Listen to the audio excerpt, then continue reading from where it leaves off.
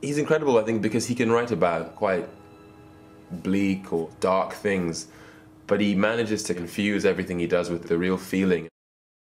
His imagination inhabits that um, border, sort of frontier territory between the real and the supernatural. Like any great artist, he's pretty unique. He is unique. He's a pure artist, and he lives it, and uh, you've got to respect that. He's absolutely lovely, and he's nice, and he's calm, and he's very English, very polite, and very. But you know that something completely different is going on. Philip is is a true artist. He really pushes everybody on the set.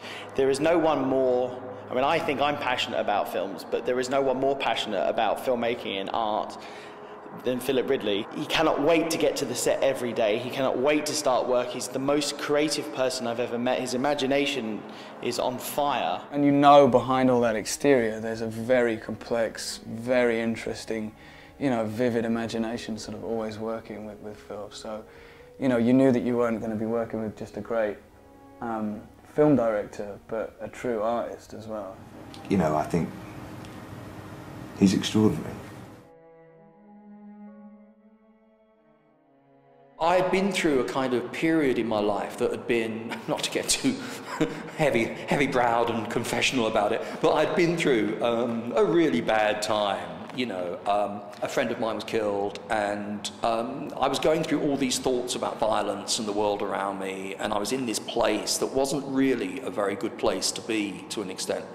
Um, and I did, strangely enough, what, um, what Jamie does at the beginning of the film. Um, I was in that place of going out with my camera, and I saw kind of family members and things like that, and I saw one or two close friends. But really, I went through a period of about two or three years where, you know, I kind of almost recluse myself in a way. So, I mean, this is a long kind of winding road, I guess, to say that there's a lot of me in Jamie, as, as there usually is, that kind of feeling, that place where Jamie is at the beginning of the film.